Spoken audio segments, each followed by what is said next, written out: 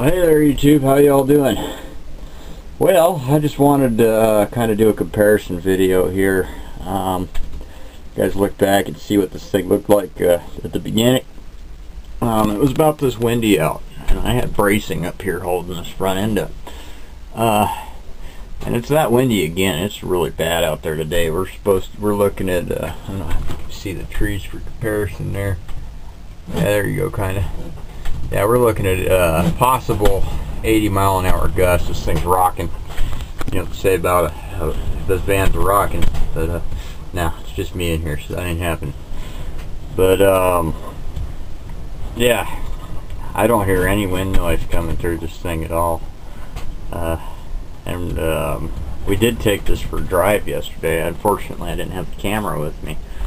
Um, yeah, but we will be taking it out again later on this week, and I will be videoing that because we're actually taking it for a good drive. We just took it down the road and back yesterday.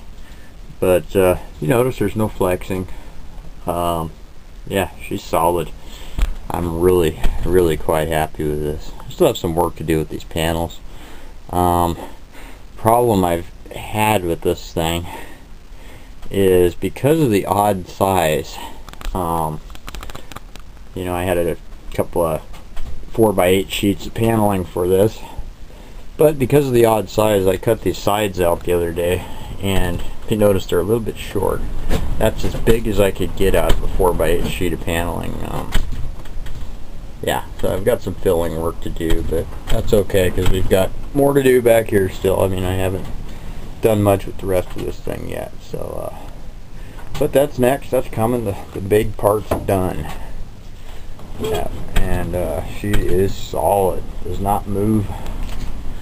Yeah not to gloat or anything but I'm kind of proud of myself. Alright thanks for watching